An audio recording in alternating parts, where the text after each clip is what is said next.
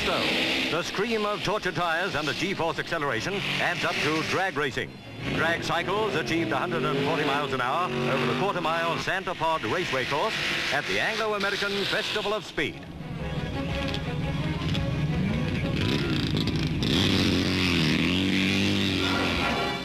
Even jumbo-sized tires don't last long with the treatment they have to take.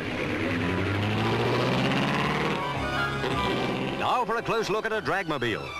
Little more than power packs on wheels, these babies can roar up to 200 miles an hour inside a quarter of a mile. It takes nerves of steel and a stomach to match to pilot these brutes.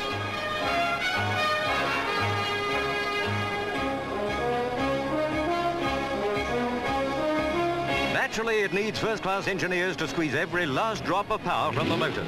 Here's a sample.